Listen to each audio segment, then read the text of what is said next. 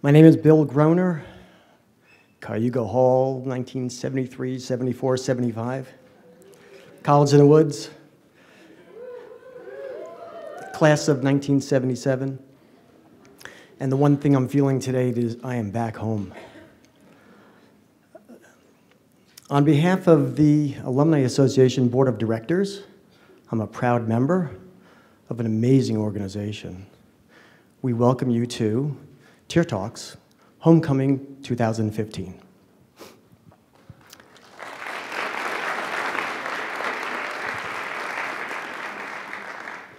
The concept behind Tier Talks was we wanted to leverage the brilliance and the intellect of the faculty and the alumni. We have over 100,000 alumni out there. And we want to show the world and our own community how great we truly are. Because of last year's event, the feedback was amazing. We are now expanding Tier Talks we have a committee of over 15 people working on developing other formats. One of the formats will be tier travel, which means we're coming to a city near you. One company, M&T Bank, shares our vision and is our sponsor. And I'd like to introduce Peter Newman, alumnus and regional president of M&T Bank.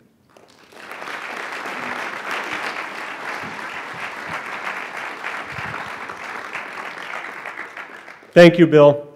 I'd like to thank the Alumni Association for giving us this opportunity. I'm also a proud alumnus. Uh, I earned my master's in business administration here. Uh, the School of Management is near and dear to my heart, and the university is near and dear to my heart. I live in this community, and I feel very strongly that we need to share the brilliance of the alumni and the faculty with the community.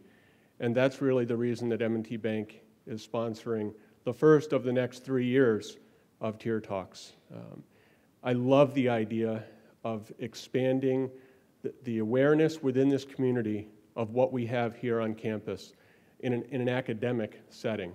Because I, everyone in the community knows what a wonderful asset this is to the community. I'm not sure we're sharing the academic brilliance the way we need to, particularly as I see it with the business community, since that's where I'm living day in and day out and then taking it to a, a, a city near you, that's terrific too. So, Bill, thank you for what you've done. Thank you for creating this program to the Alumni Association, and enjoy today.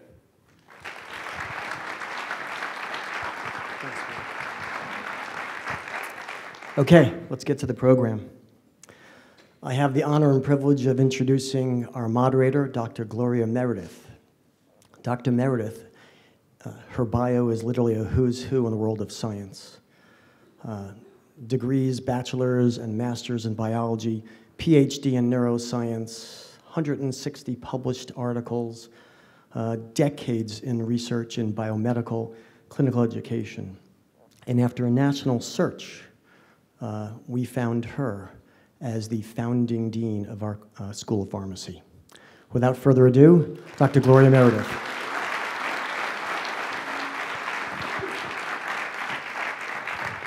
Thank you very much for that introduction. Good afternoon. I'm really pleased to see you here today because you're about to enter a very mysterious, fascinating world of neuroscience.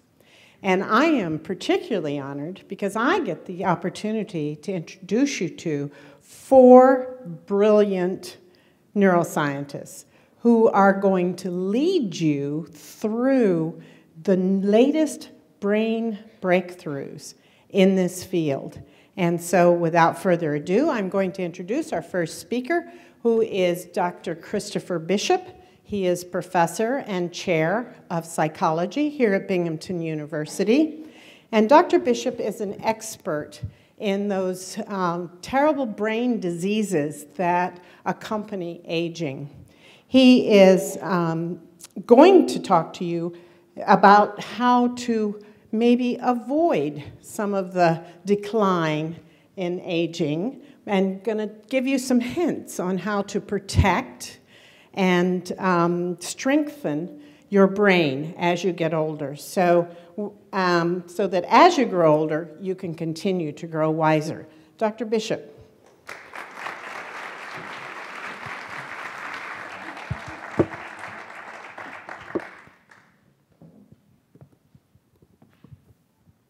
Fantastic. What an opportunity. Thank you so much for uh, giving me this chance. So, I've got some good news and I've got some bad news. And I want to start out with the good news. We like our good news first. We're living longer. A lot longer, actually. People born in this decade will live almost 10 years longer than those of my vintage. I'm a 1972, in case you wondered.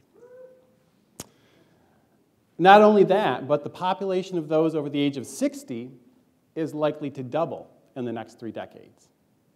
Wow. People are definitely living longer. But there's some bad news.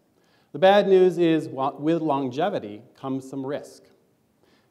Risk that might be physical, risk that might be cognitive. Physical risks like frailty, arthritis, lack of mobility. Cognitive risk, changes in memory, our ability to execute and plan. And these things can even progress to a clinical state or brain disease. Right now in the United States, over 6 million individuals have been diagnosed with a neurodegenerative disease, something like Alzheimer's or Parkinson's disease. The nexus of this longevity and disease comes when we look at the aging population. Of those 85, 30% will be diagnosable for one of these brain diseases Parkinson's, Alzheimer's, or both. Kind of scary. The problem is, I feel like I failed you, okay? Because as a scientist, I have not yet been able to identify the cause of these diseases. We've known about these diseases for over a century, and yet we know it's not genes. I know a lot of people think that, oh, I've got an uncle, I've got a brother, somebody with Alzheimer's or Parkinson's disease, I'm going to get it. You aren't. It's not genetic, by and large. It's not toxins. Okay, they contribute a little bit, maybe increase the risk factor, but it's not it either. So without knowing what causes these diseases, we can't predict it. And by the time you go see a physician and say, you know what, I've got a tremor, I don't know where it came from, or my memory just isn't what it used to be, you may have lost over 50% of the neurons, these brain cells that are responsible for these functions. Current treatments, they don't change the trajectory of the disease. They just help with the symptoms. They're palliative. That's unfortunate. So, we need to make a shift from treatment to prevention. And today, what I'd like to argue is we need a strategy that can help us with this. And that strategy, I believe, is something called neuroprotection, protecting your brain.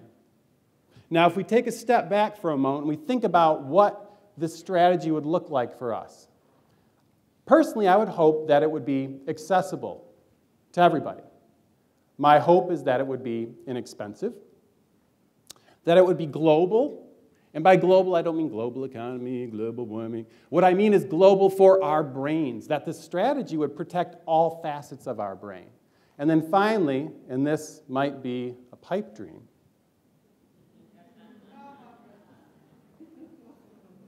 but I hope that it could be neurorestorative. Neurorestorative meaning that I could stop the progression of the disease or even reverse the ravages of the aging or the disease. Okay, what would meet this lofty criteria? What possibly could? Well, to do that, we need to turn to two seemingly disparate or different areas within the field of neuroscience. One, development. Amazing topic. Do you know the things that happen during neural development? We go from one brain cell to 100 billion, that's a B, brain cells in nine months. There are times during neurodevelopment where we create upwards of 250,000 brain cells in one minute. So, what the heck is the stimulus that is leading this to happen? That seems like a clue to me. But let's put a bookmark in that and move to the other field learning and memory. It wasn't that long ago when we thought once you mature, the brain doesn't change much. And in fact, if anything, it just starts falling apart. Okay, cool thing. In the last couple decades, scientists have shown that people in their 40s and 50s and 60s and 70s can continue to make new brain cells throughout their life. Now, what causes this to happen? Well, it turns out that as we interact with our environment, we need new neural pathways. This is how we learn, and this is how we create memories. We need these new brain cells.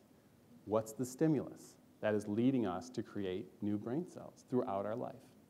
And it turns out from this field and from this field, there's one thing that's common, and it's neurotrophins. Neurotrophins. Let's take a look at the word for a second. Neuro, of the brain, central nervous system. Trophins, grower, nourisher. These are molecules that we find within our brains. We all have them, or you wouldn't be here, I'm telling you right now. Okay? We all have these things, and these are incredibly important for helping neurons to be born, for helping them to survive, and helping them to integrate. That means creating new neural networks. What an amazing stimulus these things are. And I have a video here that I would like to show you if I could. Let's see if I can make the magic happen. Here we go. What you're looking at here are stem cells. These are young cells that haven't decided what they're going to be yet. Okay? But what we're going to do is we're going to add one of these neurotrophins to these cells. And I want you to watch what happens. Check it out. They move, they grow, and they send out processes and they start talking to each other. And in fact, they begin to make the beginnings of a neural network. What's the stimulus? Neurotrophins. So, how can I get me some neurotrophins? Great question. You can't take a neurotrophin pill, and there aren't great drugs for neurotrophins. And in fact, if neurotrophins are delivered to the wrong cells, you can get the proliferation, the growth of the wrong kind of cell. And we all know what that is, right? Cancer.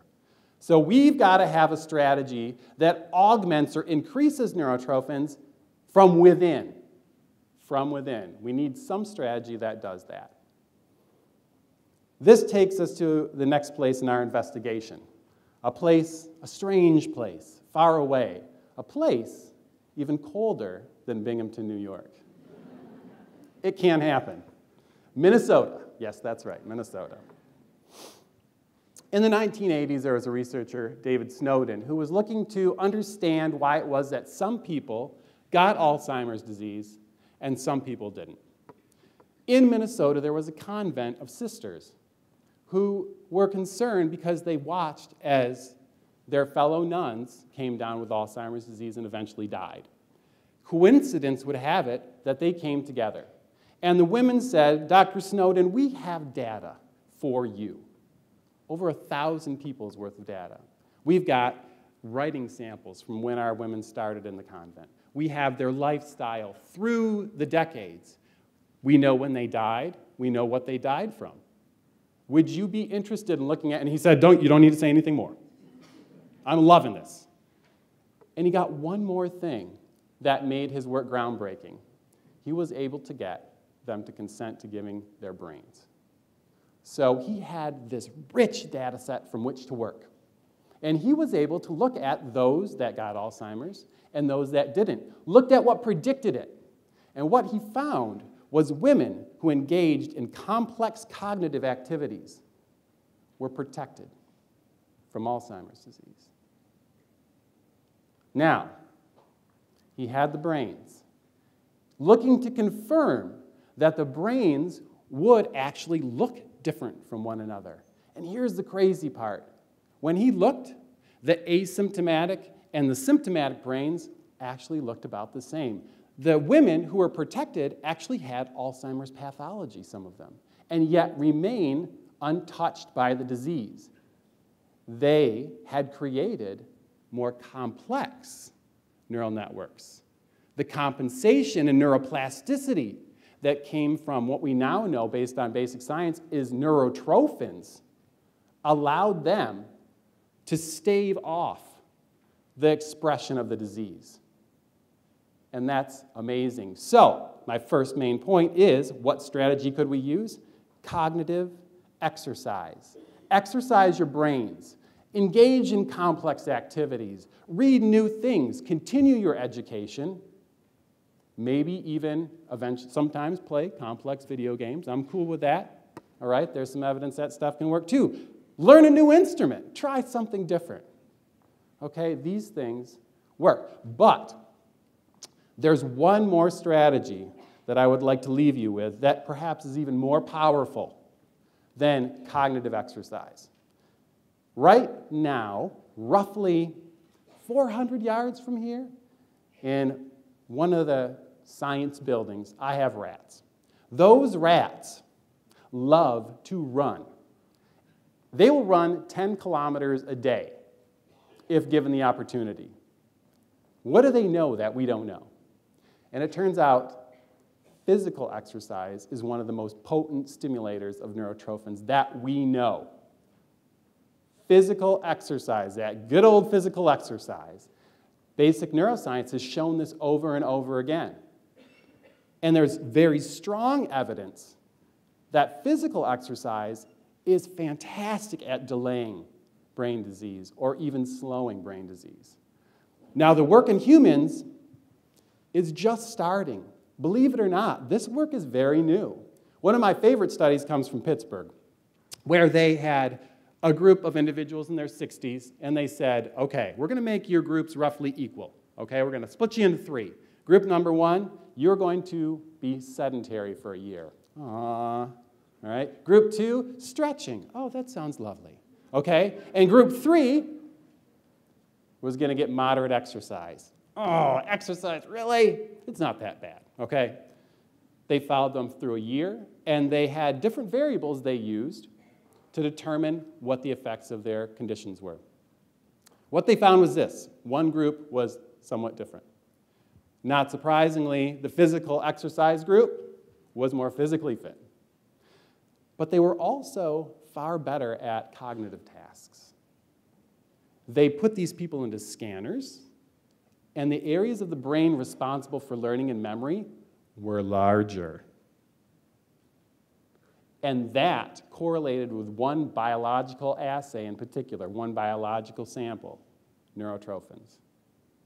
Neurotrophins. So it seems to me that our strategy of neuroprotection, whether it be cognitive exercise or physical exercise, could be accessible that it could be inexpensive. Buy that swimsuit and goggles, get out there and swim. Global, especially physical exercise, amazing for the brain. Neurorestorative, that remains to be seen, okay? But one of my colleagues, Dr. Lisa Savage, right now is testing the effects of exercise in a neurologic disease, and she's finding amazing functional recovery with physical exercise and that could work for us too. But I have one final caveat for you today. And the neuroscience research bears this out as well. This cannot be other than sustained, challenging, and varied. You got to push yourself, or this stuff will not work. This isn't a talk about the future.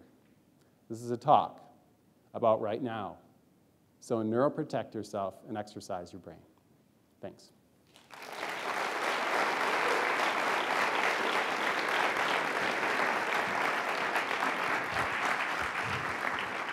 Thank you. I felt like I should have run up on the stage after that one. That's great.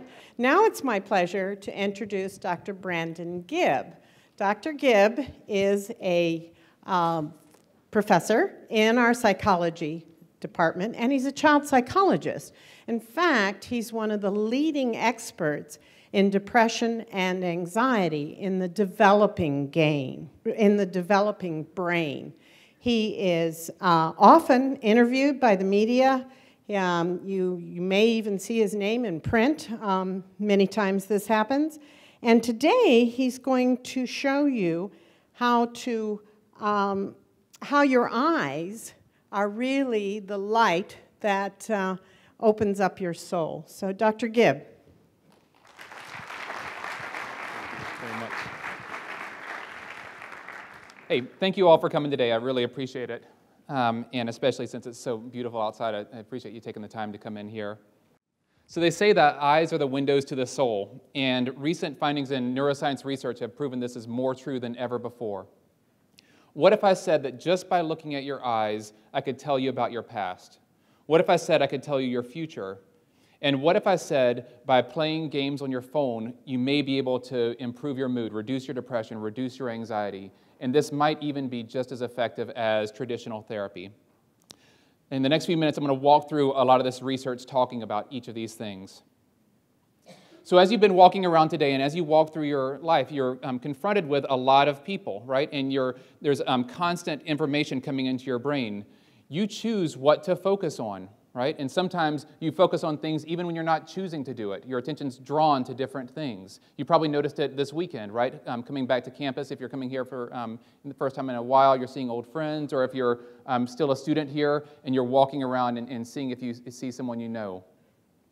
If you're the type of person that tends to pay attention to the people who are looking angry or grumpy and not excited to see you, it's going to affect your mood. You're going to start feeling the exact same way.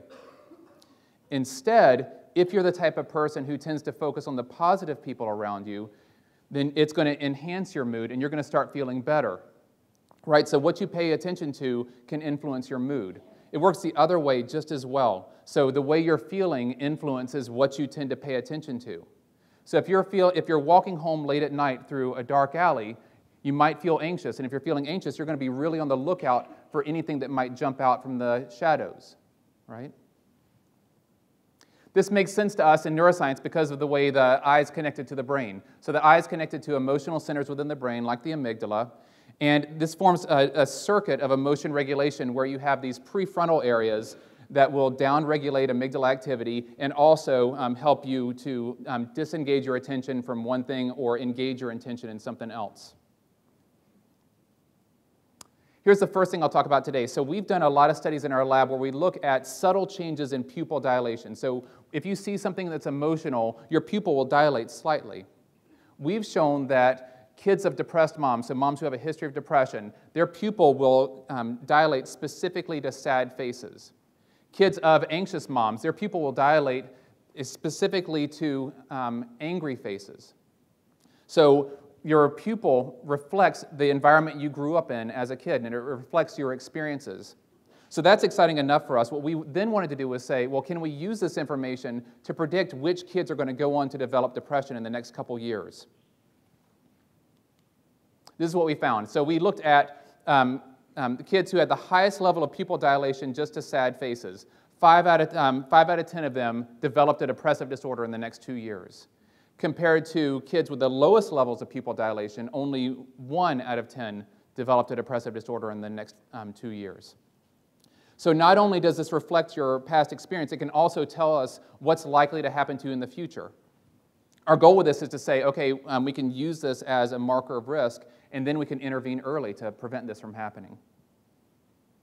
Here's another interesting thing. The, um, um, if we look at just depressed kids, they tend to look more at, sad uh, uh, more at happy faces and less at sad faces. This makes sense to us because if the pupil's indicating how emotionally reactive you are, right, looking at a sad face is going to make you feel even worse. So they're choosing to attend to a happy face as a way to try to make themselves feel better.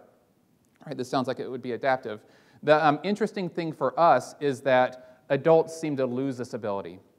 So, in depressed adults in our lab, what we've shown is that um, they have a hard time disengaging their attention from angry faces. They just, they're, once their attention um, lands on an angry face, it gets stuck there, and they can't pull their attention away. The interesting thing about this is that this also predicts their risk of relapsing into a new depressive op- episode in the, past, in the next couple years. So, among the women who have the um, highest level of attention to angry faces, six out of 10 will develop a new episode of depression in the next two years, compared to two out of 10 um, women who don't get stuck on the angry faces, right? So, this is a, a, a threefold increase in risk based just on what you tend to pay attention to. Okay, so now that we know this, now that we can predict risk, right, the next logical question is well, what can you do about it? Right? It's only helpful to know risk if you can then do something to help people. What if we could find a way to change what you pay attention to, and what if that would change your mood? People are starting to um, test these types of interventions out. So, this is a, um, um, a computer based intervention to change um, your attention. What you do is you have two different things on a computer screen. One is that bad thing you tend to focus on, the other thing is something um, more positive or at least less negative. These show up on a screen for a little while and then they disappear, and it's just a letter or something else appears on the screen. All you have to do is say, is this an E or an F? Right? And we do this a bunch of times, right? Did you notice a pattern? The letter always follows the more positive thing. So, what we're doing without people even having to, to consciously process this is training them to pull their attention away from negative things and focus more on the positive things. There's preliminary evidence, it's still really early with this, but there's preliminary evidence that this might be a useful way of treating anxiety and depression. Some studies have found that you can reduce depression and anxiety by as much as 50% just by using these computer based games. I'll give you an example of something we've done on campus. So I'm not sure if you're aware, but some college students tend to drink a lot, right? Some of them drink so much that it becomes a problem. So what we did is we had um, students on campus. We had the ones who were the really heavy drinkers, and we brought them into the lab. We then showed them a list of words and said, pick out the words um, that seem most relevant to you when you're drinking. Right? And everybody picked whichever of their, um, their favorite alcohol words were. We then put this into our training program. And so we had an alcohol word and a neutral word. We trained them to um, pull their attention away from the alcohol word and focus more on the neutral word. We um, gave them the computer program on a, um, um on a thumb drive, sent it home with them, asked them to do it twice a week for four weeks. It only took about 10 minutes per time for them to do this, so this isn't a very intensive intervention. At the end of the month, we had reduced their drinking by 30%. Right? This is still, again, early days, but it shows that if you, if you can identify uh, um, a basic mechanism, then you can target that mechanism really, really directly and have an influence on behavior and have an influence on mood. Okay, the problem is these things are really, really, really, really, really boring. Um, and people do not like doing them. They certainly won't um, go out and do it on their own, right? But what if we could turn it into a game? right? Wouldn't that be nice? What if we could turn it into a game that you had on your phone so it was always with you, right? People have done this. So this is um, Dr. Tracy Dennis at Hunter College. She's developed a, um, an iPhone app where um, two sprites pop up out of the grass. One looks really angry and critical, the other one's neutral. After they disappear, a little swish, um, swish appears in the grass. All you have to do is trace the pattern with your finger, right? the exact same type of thing. The swish always occurs after the neutral face, right? So even without you knowing what's going on or you having to focus very much, you're training your attention away from the angry face. You get high scores, they give you like these badges and icons, right? And so it's actually an, um, an engaging game to play, and people play it without knowing that they're, they're training their attention, right? They do it without knowing it's good for them, which is excellent. Okay, Here's the interesting thing um, pulling back to the neuroscience perspective. There's evidence now that these types of interventions increase activity in the prefrontal areas that I was talking about at the beginning of my talk. So it increases activity in these emotion regulation centers of the brain. We think this is extremely exciting. It shows that you can um, use basic findings in neuroscience, you can translate them into clinically applicable types of strategies and you can make a real difference. Now, what we're hoping to do is to um, make these even better, more engaging, and then transfer them into kids that we know are at risk and start our interventions before they actually develop any, um, any of these disorders. That's our hope. Thank you very much.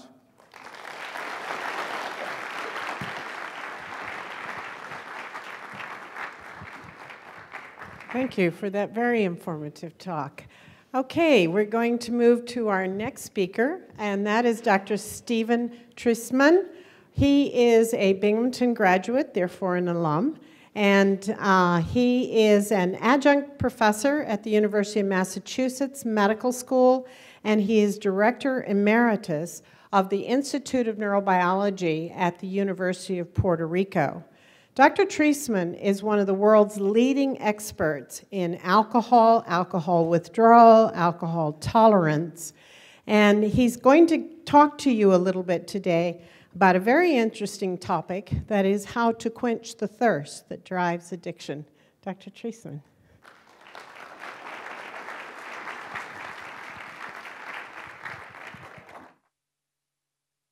Well, I graduated a long time ago. It was 1967.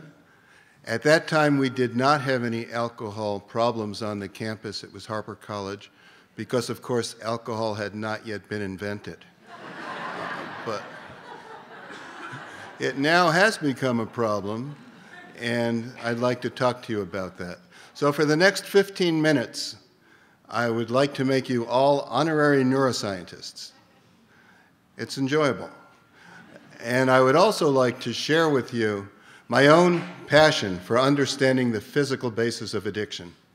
So that's what we're going to talk about the physical basis of addiction. The first slide. W.C. Fields. Yeah, it takes a second. There's usually a delay, and then people laugh. Um, it's funny. It's funny. Um, I don't know why people say quitting drinking is so hard. I've done it a thousand times. Um, what we're going to address is why do you need to do that a thousand times? Now, it's funny, but the reality isn't very funny. Um, uh, a significant number it's a, it, basically alcohol use is the third leading cause of hospitalization. That means if you can imagine how much that taxes our economic system and so on, um, it's, it's not a good thing. Um, and the numbers are increasing. And let's face it, everybody in this audience knows somebody whose lives have been impacted by alcohol abuse. It's, it's just rampant and impossible to avoid. Now, one of the things that's most frustrating for the families of an alcoholic is the fact that the alcoholic will say over and over again, I don't want to hurt you anymore, I'm quitting. And they mean it. And the most frustrating thing for their families is that two days later they're drinking again. So the question is, why is that? If they really meant it, why don't they stop? And what we're going to talk about is the physical changes in the brain that make it so hard for them to stop, even though they really do want it to stop. They do really want to stop. If you ever visit a um, Alcoholics Anonymous meeting, the anguish that you'll see there in the faces of the people trying to quit alcohol is heart wrenching. Yet they can't do it. Over and over again, they relapse. And the reason they relapse, as I said, is because the brain is changed by the alcohol they've been drinking, and it's not so easy. It's not a level playing field. It's not as though a non drinker says, Well, I won't have any more drinks. It's not like that. Their brains are different. The good news is that we've made amazing breakthroughs in the last few years in understanding the physical basis, and those breakthroughs are translating, and certainly even more are going to translate into treatment strategies so those people, when they say no more drinking, can actually keep to that promise to themselves and their families.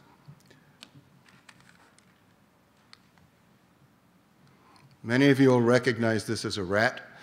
It's in a chamber, and you can see an electrode coming into the head of the rat, through the head of the rat, into the brain. For me, this is an incredibly important slide.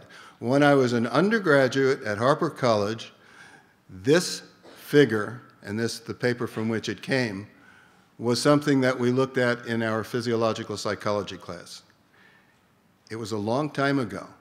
And it's stayed with me ever since and is always somewhere in my mind, I think, as I work to understand the physical basis of addiction. So what you can see is that wire comes down and you see a bar there and the rat can take his little paw and press down on that bar.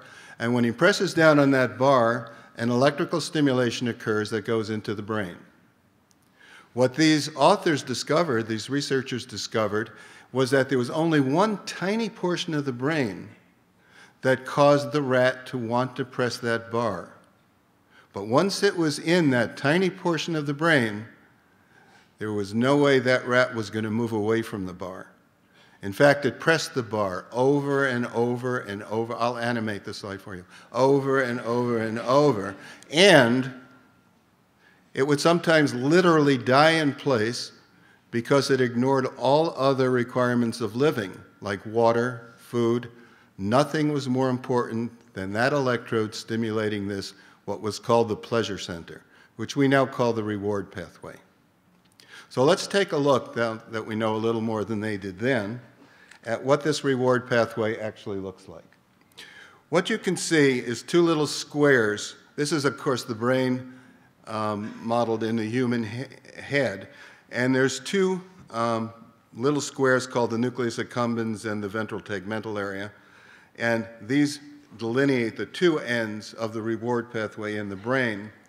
This is a little easier to read in that respect. So you can see the little green circle and the little blue circle. Those are the brain centers that are critical for the functioning of the reward pathway. You can also see a cable running between the blue circle and the green circle.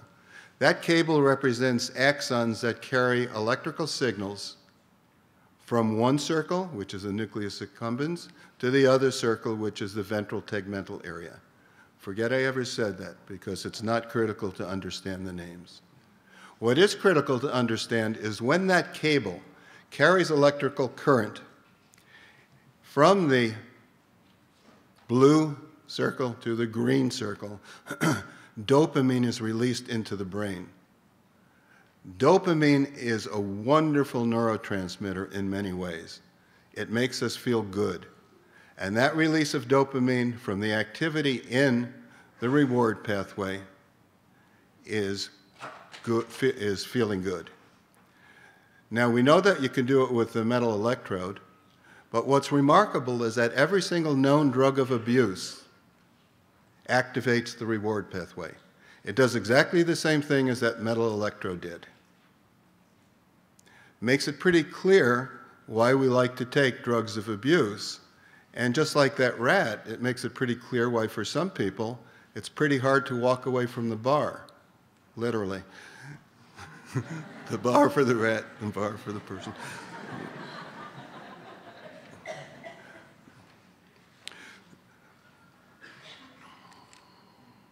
So now what we're going to do is take some of the information that we know of. Now that we've looked, oh sorry, now that we've looked at the um, ventral, that, uh, the reward pathway and ask what, what insights we can gather from knowing about this reward pathway and knowing that the electrical activity in this reward pathway determines the pleasure that's derived from drugs.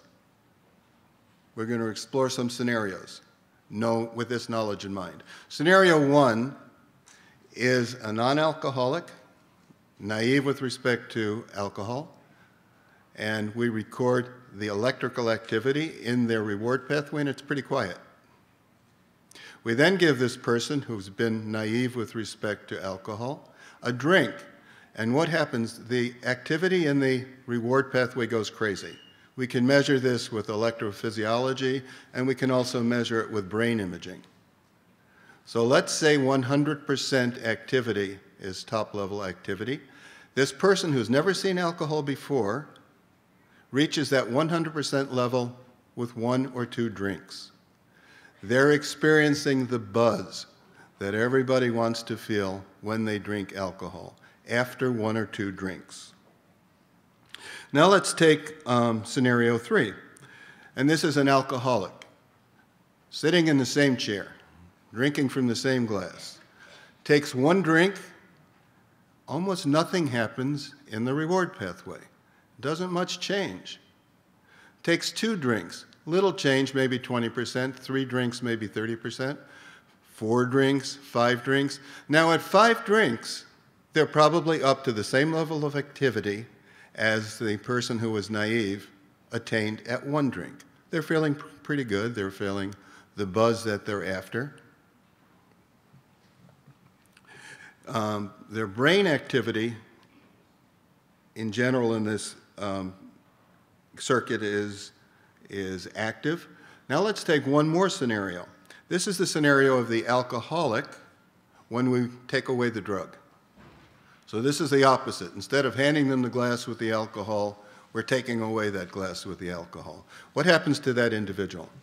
Um, first of all, as we all probably are aware, they're going to undergo withdrawal systems.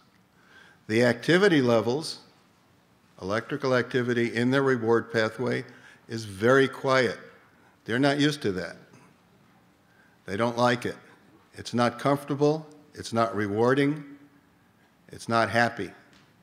What happens to that, to that alcoholic at that point? Their entire life becomes focused on finding a drink.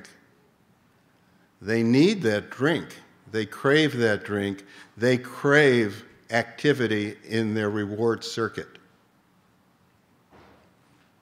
So while tolerance may be great in terms of being able to outdrink your buddy, it's not so great when circumstances change or when you want to stop drinking. Let me tell you a story because what I'm describing to you, withdrawal, is really tolerance to the drug. That's why it takes five drinks to get to where the naive person took only one. Let's say at the university we had a freshman who broke the law and was willing to drink, and that freshman went to a frat party, very, very anxious to impress the frat brothers who were very experienced drinkers.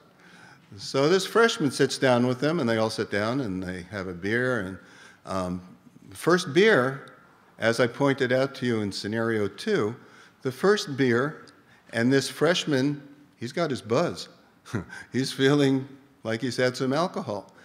But the frat brothers, they're not in that scenario. They're in scenario three, and they don't feel too much after that first drink. Then they have the second drink, and their activity, their electrical activity, maybe goes up to 30%. The third drink maybe goes up to 50%.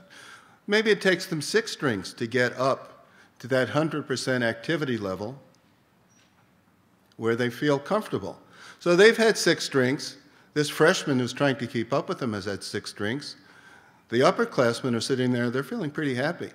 The poor freshman is in an ambulance on the way to the hospital with alcohol poisoning. The reason for that is he did not have a tolerant brain and he couldn't handle six drinks. But he, of course, he didn't know that when he was trying to keep up. So, this knowledge that we have of what's going on in the electrical activity in the reward pathway gives us great power to number one, understand alcoholism, and number two, potentially develop treatments for alcoholism. What are some of the direct benefits of this knowledge? Number one, I find when I talk to a group of alcoholics or addicts and present to them pictures that show the actual changes in the brain, I was going to try and stuff 30 years of research into the 15 minutes, but I, I decided not to. Uh, but if I could have, I could have shown you pictures in the brain that literally do show the changes that occur as a function of exposure to the drug over years. When I show these addicts or alcoholics these pictures, they are extraordinarily thankful. Finally, something, somebody is showing them a disease with a physical basis that's different than, hey, you, got, you don't have any willpower. You're just a kind of a weaky kind of person. And um, they don't feel that way anymore. They feel empowered to actually make a change where they felt hopeless to make a change before, simply knowing that there was a physical basis for their situation. Number two, it may lead to successful intervention if we're going to develop, for example, medications to combat the craving due to the changes in electrical activity in the reward pathway, we at least know what to aim for. We know what kinds of receptors are there. We know what kinds of transmitters are there. we have some idea of what we want the molecule of medicine to look like in order to have an effect. Um, I, I might mention that while I'm talking about developing medications for treatment, other things are becoming very effective as well, such as meditation. Interestingly enough, meditation has a tremendous effect on the electrical activity in the reward pathway. So, not much of a surprise, but pretty interesting. Number three, maybe this knowledge can help with prevention.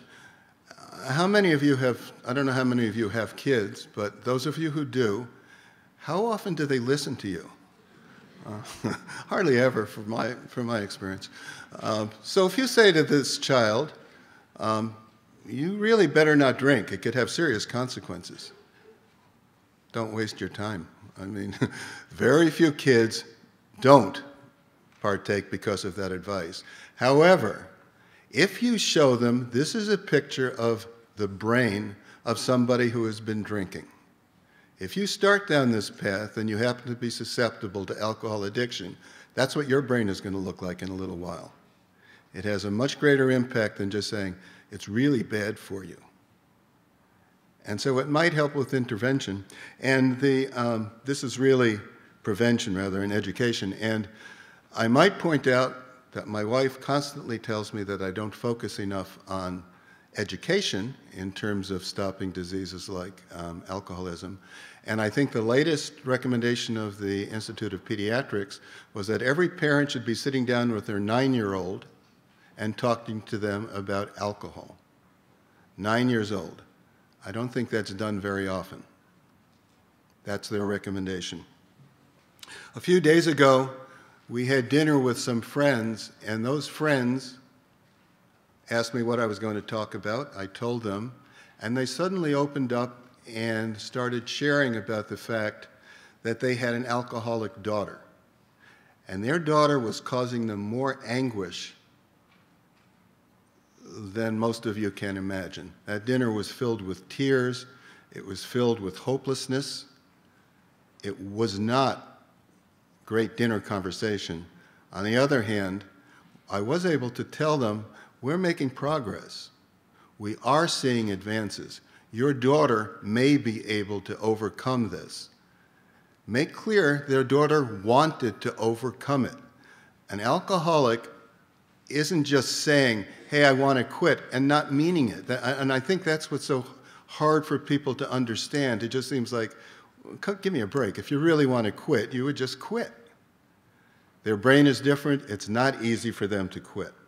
So, my hope is that with our knowledge of the physical basis of addiction, we'll be able to develop treatments, we'll be able to do better preventive treatment. Conversations like I just described will become obsolete. That's my hope, and that's also um, what I believe will be the case. Thank you. Very interesting.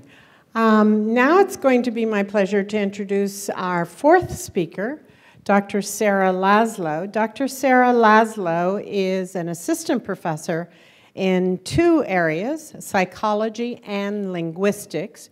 She is also the director of the Brain and Machine Lab. She is a recent recipient of uh, a coveted five year National Science Foundation Award for Early Career uh, Development. And she's going to talk to you about the world of brain printing. Now, she, she is one of these leading edge researchers in brain printing.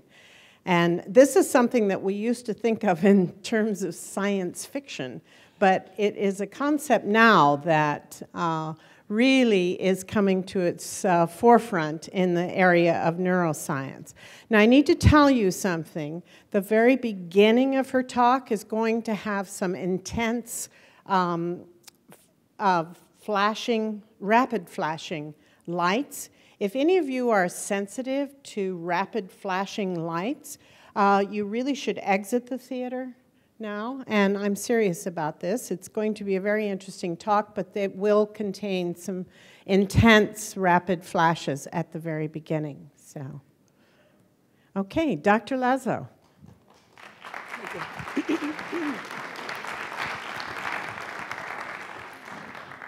Hi, everyone. Thank you to my students who came to see me talk on a Saturday when they didn't even have to. My little heart is just breaking. All right. I'm about to take control of your brain. Are you ready?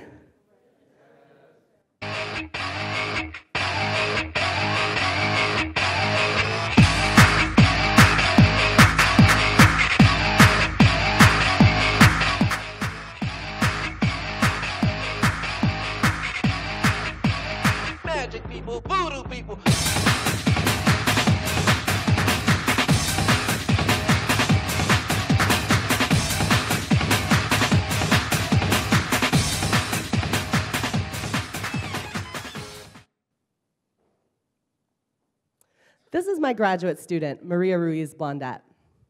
And this is about one second of her brain activity. And you didn't know it, but in the video I was just showing you, the screen changed color every time there was a peak or a valley in Maria's brain activity.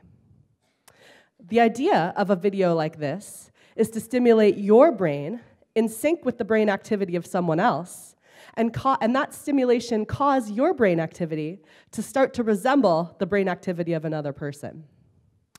When we do this in the laboratory, when we show people videos like this in the laboratory, there's a very distinct change in ongoing brain activity that occurs shortly after we start stimulating someone like this. Why would we want to do this? Why would we want to try to make someone's brain activity more like someone else's? Well, what if somebody, like my research assistant Aaron Baker, wanted to impersonate the brain activity of someone else? What if he wanted to sneakily sneak by and have his brain activity fool someone into thinking that he was Maria? Why would anyone want to do that? Why would anybody want their brain activity to look like the brain activity of someone else? That's what I'm going to tell you today. It starts with this woman. This is Ursula von der Leyen. She's a German minister of defense. In 2014, a hacker member of the Chaos Computer Club stole Ursula von der Leyen's fingerprint simply by taking a high resolution photograph of her hands without her knowledge at a press conference. Having done this, he made the high resolution scan of her fingerprints available online. And now every system in the entire German defense network that was secured with von der Leyen's fingerprint is compromised, and not only compromised, but compromised forever. That's because von der Leyen cannot grow a new finger. He stole her fingerprint. Nothing secured with her fingerprint is safe anymore. Perhaps even more alarming, on September 23rd of this year, so just a couple of weeks ago, the New York Times reported that Chinese cyber espionage agents had stolen the fingerprints of 5.6 million American workers. Just like von der Leyen's fingerprints, any system that was secured with those fingerprints is now compromised. The, nu the nuclear launch codes, the army bases, and all of our tax information sitting on the IRS servers is now compromised, and not just compromised, but compromised forever. Because none of those people can grow their finger, fingers back again. They can't grow new fingers. Those are done for. What these anecdotes, I hope, shows you is that for the most secure information these days, things we really don't want hackers to get their hands on, a biometric credential like a fingerprint is simply not secure enough. And that's why my lab has developed the BrainPrint protocol, the next generation of brain biometrics. This is something literally out of a science fiction movie. And when I say literally, I mean literally. I mean the movie X Men 2. If any of you have seen the movie X Men 2, you know that in X Men 2, Professor X, played by Patrick Stewart here, has a system called the Cerebro system that helps him to amplify his telepathy. That's what that funny hat is that he's wearing. The Cerebro system is keyed to Professor X's brain activity. So in the film, when the villain, Mystique, tries to illicitly use the Cerebro system, it notices that her brain activity is not the brain activity of Professor X, and it painfully ejects her from the system. Our brain print system works the same way, without the pain. It doesn't hurt anybody. Let's say this is Professor X's brain print. This is a real brain print, but it doesn't belong to Professor X because he's fictional, but the brain print is real. If Professor X wants to get into a system that's secured by the brain print, he provides his brain activity a second time, and if his brain activity the second time matches his brain print provided the first time, the system recognizes him and lets him in. But if someone like Mystique tries to sneak into the system and provide her brain activity to the brain print system, it recognizes that that brain activity does not match Professor X's, and it doesn't give her access. My, this sounds crazy, right? It's from a science fiction movie. You're actually, you, you, I want you to believe that we can actually do this. We can actually do this. My laboratory is the first laboratory worldwide to show that in a pool of 30 people, we can identify someone on the basis of their brain activity 100% of the time. That's right, I said 100%. You can't get higher than 100%. That's as good as it gets. It's good that we can do this. It's good that we can identify people from, from their brain activity because there's a lot of characteristics of brain prints that we think make them superior to something like fingerprints. so, for example, if you've seen the Quentin Tarantino Alias episode, which is the best Alias episode, hands down, you know that if you want to get into a safe that's secured by a fingerprint biometric, one really easy way to do it is to just cut off the finger of someone who can get into the safe. You cut off his finger, you take the finger, you walk over to the safe, you put the finger up against the biometric plate, and in you go and you steal whatever you want. Can't do that with brain prints. If you take somebody's brain out of their head, it stops working. If you chop somebody's head off, it stops working. So you can't do that. Well, that didn't actually work for Quentin Tarantino either in the Alias episode. So, what's the next thing you might want to do if you want to try to break into a safe that's secured by a fingerprint? Well, you have a big gun, like Quentin Tarantino has. You could put it to somebody's head and say, hey, put your fingerprint on the biometric plate, or I'm going to blow your brains out. We don't think this would work for, to break into a brain print system either. And the reason for that is that it's very well known that when a person is placed under stress, like they would be placed under certainly if someone someone was threatening to shoot them, when a person is placed under stress, their brain activity changes dramatically. It changes so much that sometimes you can see it with the naked eye in the, in the brain recordings. You don't even need fast, fancy software or fancy computer systems to pull it out. So we think that if somebody threatened a brain print user to try to force them to give access to the brain print system, it wouldn't work because their brain activity would change too much. A final advantage that brain prints have over fingerprints. As I alluded to when I was talking about von der Leyen and the Chinese espionage, I said that those fingerprints are compromised forever because people can't grow new fingerprints. But brain prints don't share that characteristic. So, for example, Professor X's brain print that I showed you earlier happens to be brain activity that was recorded while the person, not Professor X, was looking at pictures of black and white foods. If, in the unlikely event that somebody was able to steal Professor X's brain print, this version could be canceled and a new one could be recorded, perhaps in response to something like celebrity faces, which is another type of stimulation that we use in my lab. So Brain prints seem like they have a lot of features to them that make them more secure than fingerprints. There's some reasons to think that, this, that using brain prints to secure our most classified information could be more, more surefire than using a fingerprint. But there's still one way. There's still one way that a person might be able to break the brain print system and get into a brain print protected system. And that's by impersonation. So, what if now, back to the beginning of the talk, my research assistant, Aaron, wants to break into a brain print system that's been keyed to my, my graduate student Maria's brain activity? Could he do it? This is what we try to find out. We showed Aaron, we trained Aaron by showing him a video that was exactly like the one, actually, it was the same one that you saw at the beginning of the talk, but you had to watch it for 30 seconds, and Aaron had to watch it for 12 hours. Yeah. yeah, it's a good thing that Aaron is a super guy. I wish he could be here today, actually. He couldn't. Um, but he's a super guy. And, and for science, and because he likes learning about the brain, and because he's a super guy, he endured watching this video for 12 hours. And this is the big test. This is the big test because if somebody can break into a brain print system just by watching a stupid video for 12 hours, then all the stuff I said before about brain prints being really secure probably doesn't really amount to much. So, what did we find? Just to orient you, we can look at, for example, how similar Maria's brain activity is the second time she submits a brain print to how to the first time she tries to submit a brain print. So there's three bars on this graph, and the Maria Maria bar is the biggest. so Maria to Maria is the most similar. That's good. If that weren't true, this whole setup wouldn't be working very well. If we compare Aaron's brain activity to Maria's at the start of training, those two things are much less similar to each other. That's the smallest bar of the three.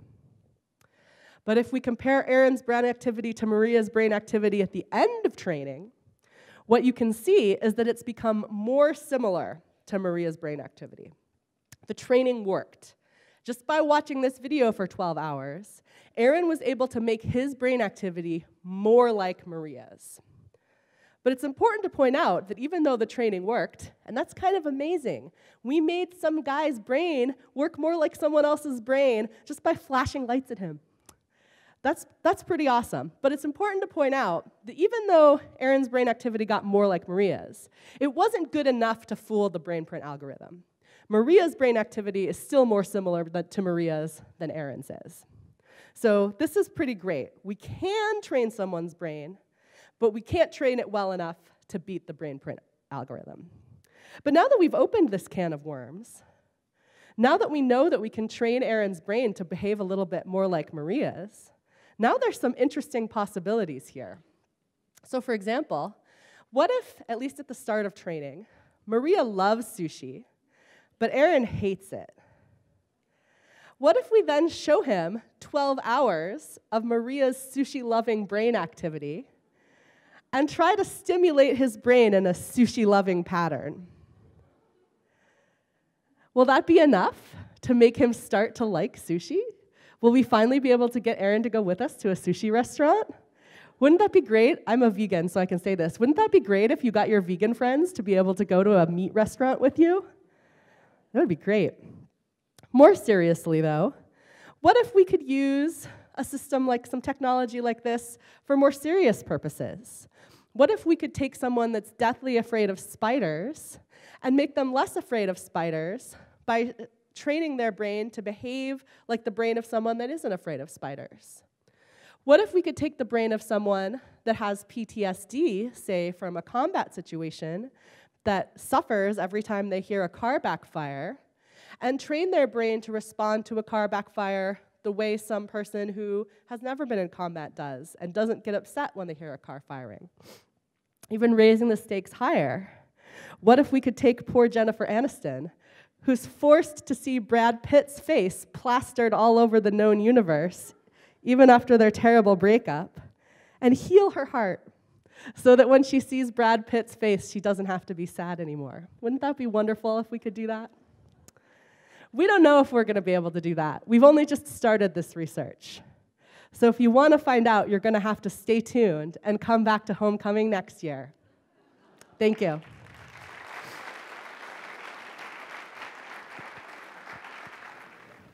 Okay, um, so let's get started, and uh, we'll ask a few simple, straightforward questions that some of you have emailed.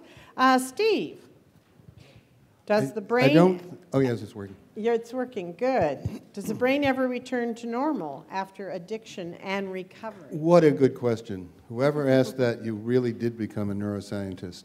Um, the fact is that is one of the most amazing questions because, in fact, even after somebody is abstinent for years, their um, propensity to go back to drinking is way higher than somebody who had never been addicted. Those are the changes in the brain that we don't know how they happen. How do you encode something that, that lasts for 15 years? It would be a wonderful answer to have. We're working on it, but no, nobody knows the answer. Okay. Chris, can I buy neurotrophins on Amazon? Not Seri- yet. Seriously, what games, what puzzles, any suggestions? What, what, what might be the most beneficial? And are there things, and I'm going to combine this with another question from the audience. Yeah. Are there things that people do in other countries that might be um, useful to us? You know, different types of games or activities. You know, we're, we're, we're still trying to understand, you know, what are the optimal things we can do. Uh, you know, the people, I'm, this is no plug, I swear, for something like Lumosity, but, but they do have the idea that if you have a complex task and you perform it and you do it often enough and you change the kinds of tasks you do, then that can be useful.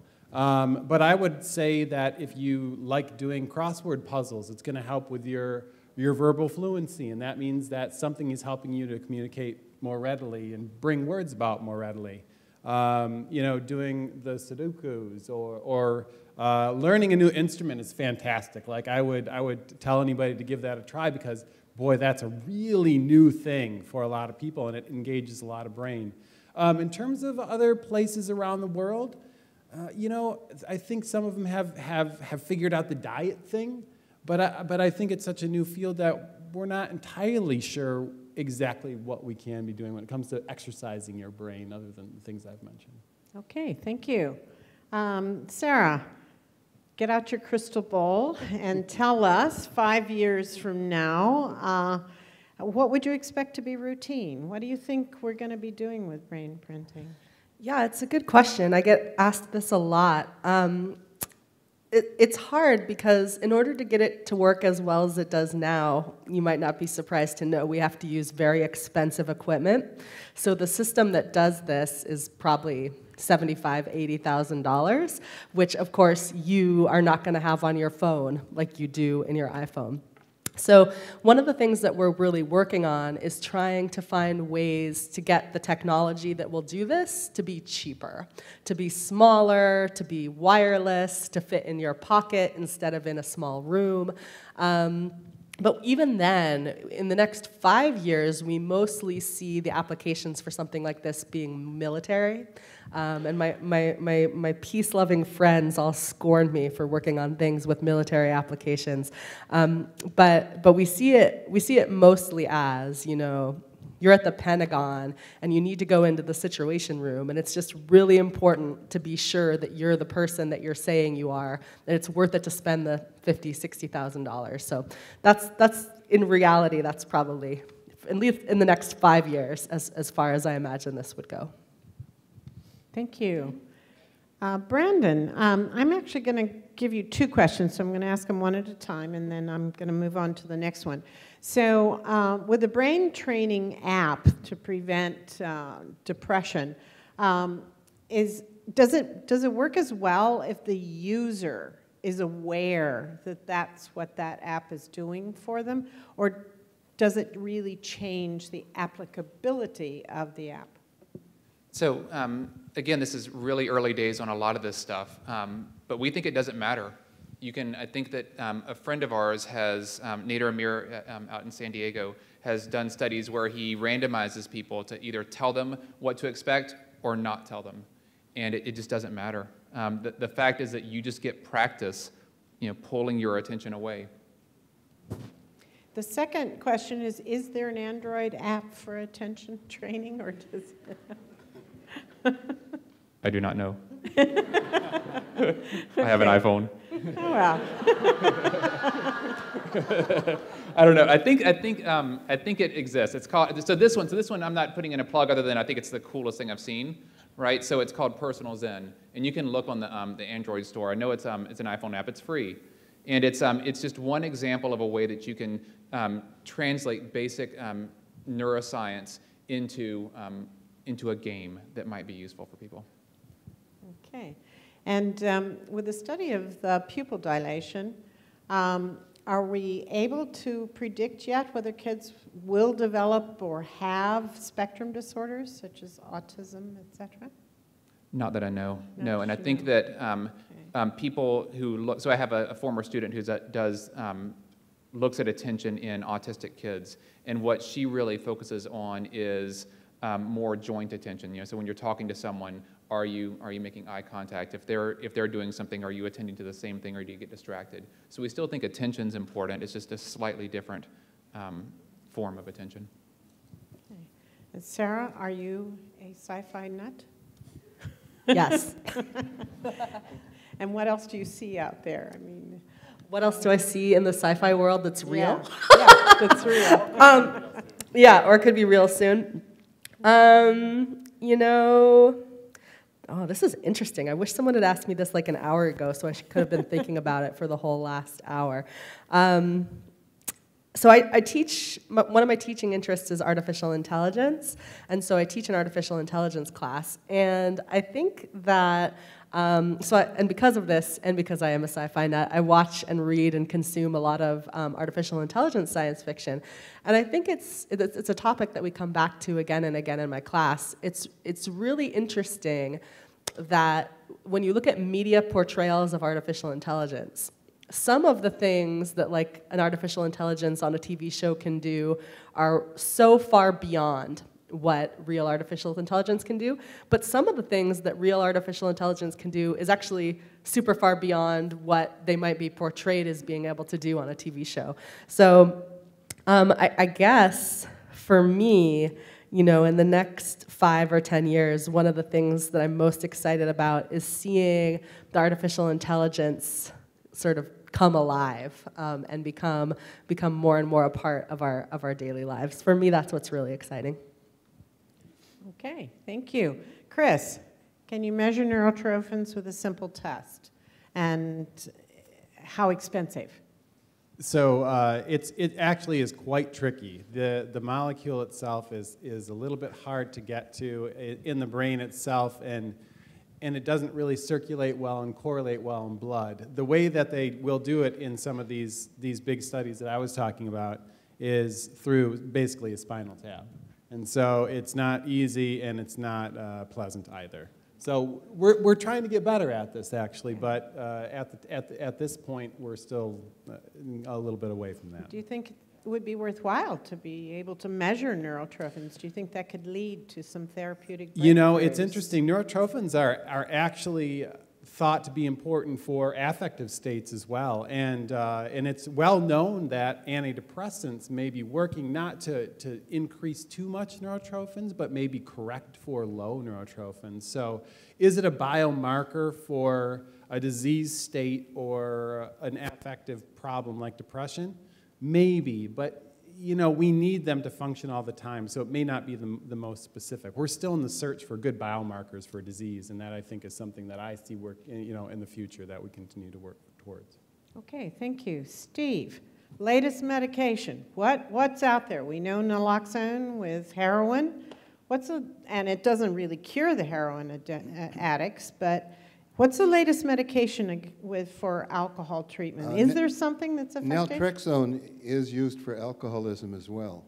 It's, it is, you're right, it's a- an opiate blocker, but there are opiate receptors that feed into the reward pathway that I was talking about.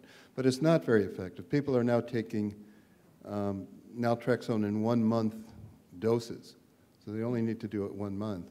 Um, one of the problems with naltrexone is it, it dulls your pleasure levels independent of the drug because it's blocking that reward pathway. So some people don't like to take it. There's another drug called acamprosate that's been more widely used in um, Europe.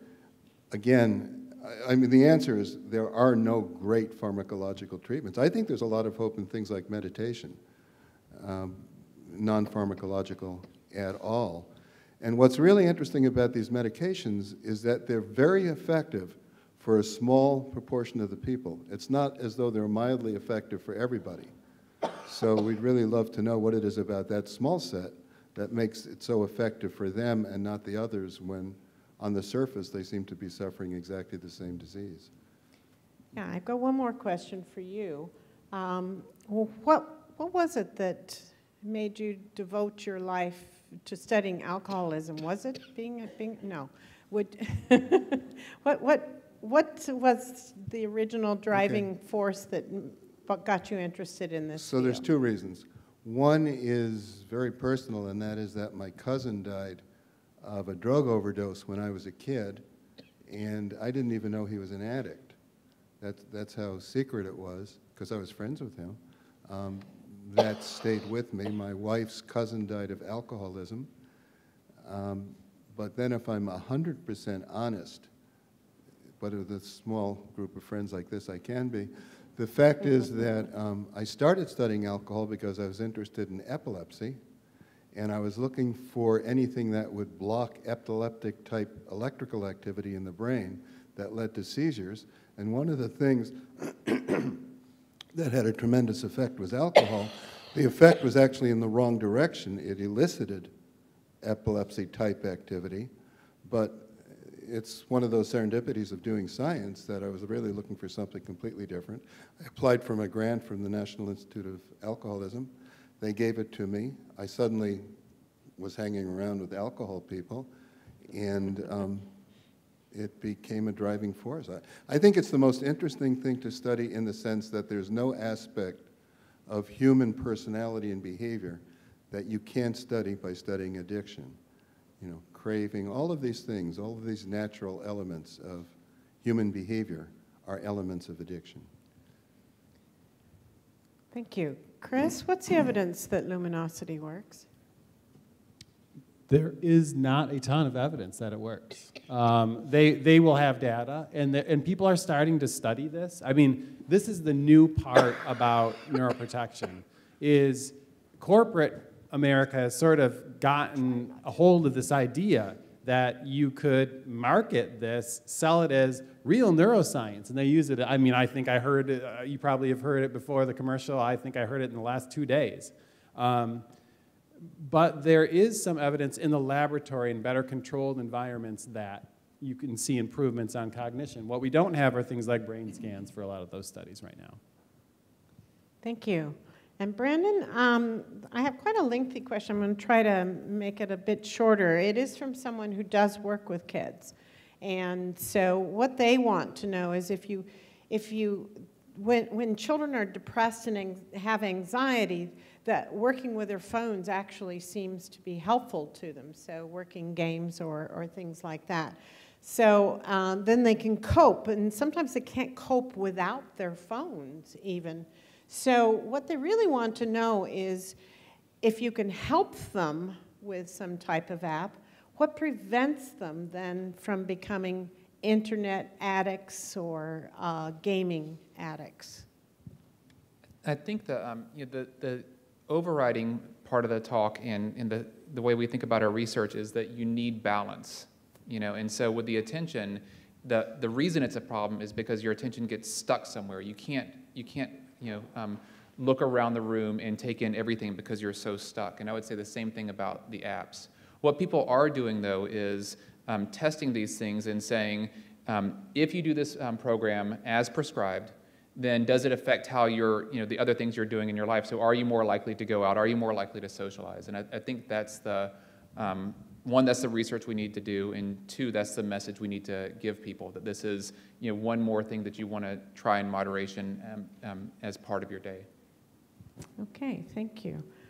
Um, I think I would like to uh, thank all of our speakers today. I think this has been really enlightening, um, really fantastic. And they'll be hanging around. If any of you have further questions and want to contact them, um, they'll be here for near the front. Thank you very much.